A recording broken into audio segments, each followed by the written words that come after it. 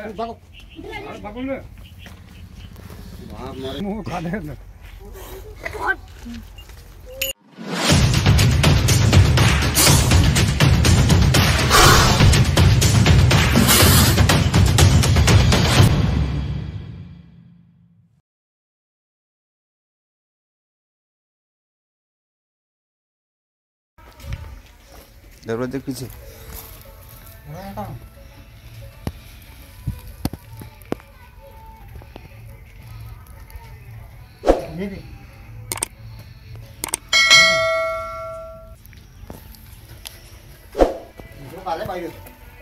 अच्छा रुको रुको रुको रुको रुको। एक सेकंड रुको।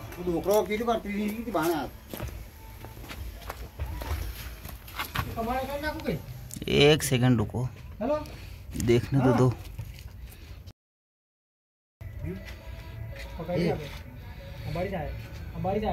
निकला तो नहीं यहाँ से के? आपको फ़ोन लगा उस टाइम यहीं बैठे। मैं बाहर ही बैठा हूँ।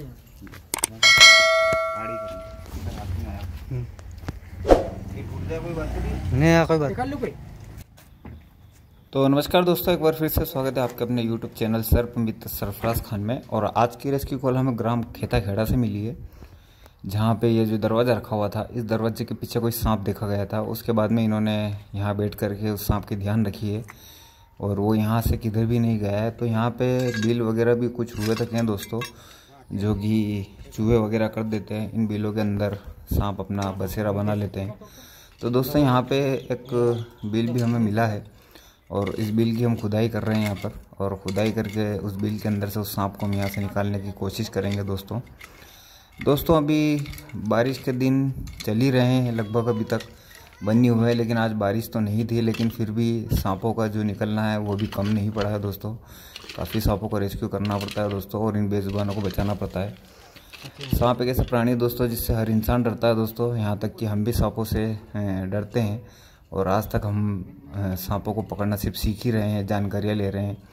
और ये काम एक्सपर्ट के होते हैं दोस्तों हमेशा इसके अंदर ट्रेनिंग पढ़ाई वगैरह करनी पड़ती है दोस्तों। तो आप देख सकते हैं यहाँ पे बिल के बाद में हम खुदाई को बिल जो था यहाँ पे उसकी जगह पर हम खुदाई करने की कोशिश कर रहे हैं ताकि उस सांप को यहाँ से निकाला जा सके और प्रकृति के अंदर छोड़ दें। अब ये घरों के अंदर गुले भट के भोजन की तलाश में आ जाते हैं दोस्तों सांप। और सांपों को हमेशा बचाएँ दोस्तों सांपों को कभी मारे नहीं। तो आप देख सकते हैं दोस्तों हमें बिल दिखाया है बिल के अंदर हमने पानी डालना स्टार्ट किया है ताकि पानी लगती है तो सांप बाहर आ जाए। और दोस्तों कभी भी हम सांपों को इस तरीके से परेशानी करते हैं जहाँ पे इनके वास होते हैं निवास होते हैं वहाँ पे हम परेशानी करते हैं लेकिन घरों के अंदर अगर आ आ जाते हैं तो लोग भयभीत हो जाते हैं डर जाते हैं दोस्तों इसलिए घरों के अंदर से सांपों को निकालना बहुत ही ज़रूरी होता है दोस्तों क्योंकि दोनों की जान बचानी पड़ती है इंसानों की सांपों से और सांपों से इंसानों की। तो आप देख सकते हैं यहाँ पे काफ़ी देर तक हमने पानी कुड़ा है और काफ़ी देर के बाद निकल चुका है दोस्तों। और आप देख सकते हैं इस सांप को अभी छोटा है लेकिन किसी मौत से कम नहीं।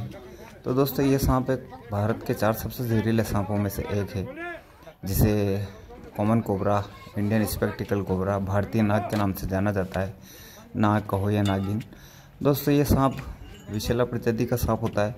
इस सांप के अंदर न्यूरोटॉक्सिन और साइटोटॉक्सिन जहर पाया जाता है, जो कि किसी भी एक इंसान व्यक्ति को काट ले।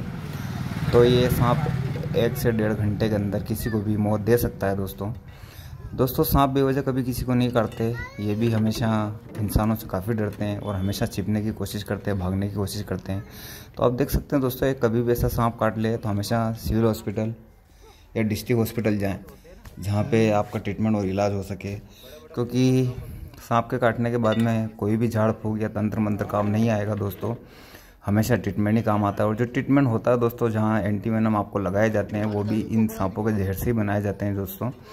इसलिए प्रकृति के अंदर होना इनका भी बहुत ही ज़रूरी है। तो आप देख सकते हैं, कभी भी वीडियो देखकर इन सांपों को पकड़ने की कोशिश ना करें। ये आपके लिए घातक और जानलेवा हो सकता है।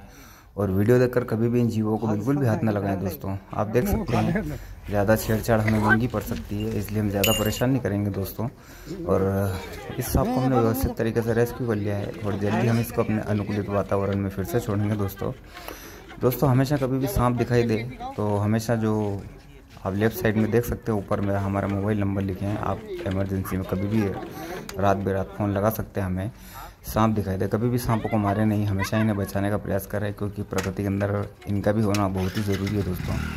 और हम फिर से कहते चलें, वीडियो देखकर कभी भी सांपों को पकड़ने की बिल्कुल भी कोशिश ना करें। ये घातक और जानलेवा हो सकता है। तो आप देख सकते हैं दोस्तों, इसको व्यवस्थित तरीके से रेस्क्यू कर लिया गया है और जल्दी हम इसको अनुकूलित वातावरण में फिर से छोड़ेंगे।